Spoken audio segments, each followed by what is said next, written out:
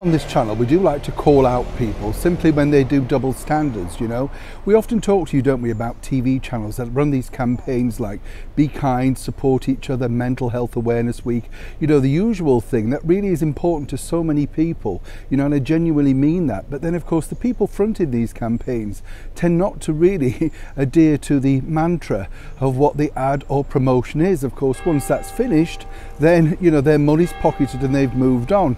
This is always the case with certain individuals over at ITV, that is Britain's premier commercial channel. Earlier this week, their money expert, Martin Lewis, picked up an award at the National Television Awards for a brand new award category called TV Expert. That's right. no. He can often be found offering money saving tips on the channel, you know, mortgages, how to heat your home, all of that sort of stuff. Wonderful uh, advice, of course, and he's made a very successful career out of it. Become a multi millionaire on the back of this, so, you know, hats off to him. Can often be found crying and getting very teary uh, about viewers' stories. It's all very moving, isn't it, you know? But then, of course, you have a similar situation on another uh, show on that channel. Remember a couple of months back now, over on This Morning, you remember this? Well, as you know, Holly and Phil had problems uh, waiting 12 hours to queue, you know.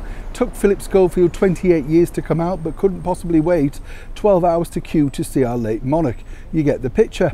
But it was worse than that. They decided to offer in their giveaway show the chance to pay someone's energy bills for a couple of months again from two multi-millionaires. So on the same show, another presenter, Alison Hammond, who was discussing bank fraud, openly admitted that she hadn't missed £10,000 being removed from her bank account.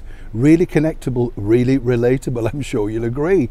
Strange things going on over at ITV, but this truly does take the biscuit, as they say, because their morning show presenter, the lovable, according to her, sometimes actress, according to her, Lorraine Kelly, who had that spat with the British taxman, where she claimed, of course, that she wasn't a real person, she was in fact playing a role of Lorraine Kelly. This helped remove around about, allegedly, a million pounds worth of tax. All very moving.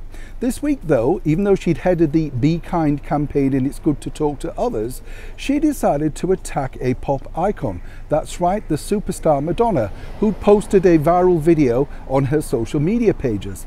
And according to Lorraine Kelly, Madonna looked like a boiled egg. Now they're in the same age bracket, you know, so you would have thought that certain sisters of the storm, as it were, might have had a little bit of empathy. Seemingly not. Now this has caused a huge backlash from naturally Madonna's fans. And Madonna, you know, whichever way you look at it, has really carved a successful career out for herself. Obviously struggles with the aging process, but that's her individual needs. You know, really, should a woman of a certain age, the same age bracket, be so cruel, particularly across the world's media?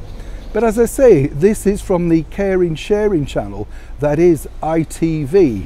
And interesting to note, of course, that the CEO recently backed up those queuing claims about the disgraced presenters Holly Willoughby and Philip Schofield, which either way you look at it, as we often say here on the show, it is simply one rule for multimillionaires and one rule for you and I.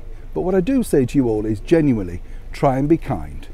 Neil Sean in the very heart of London.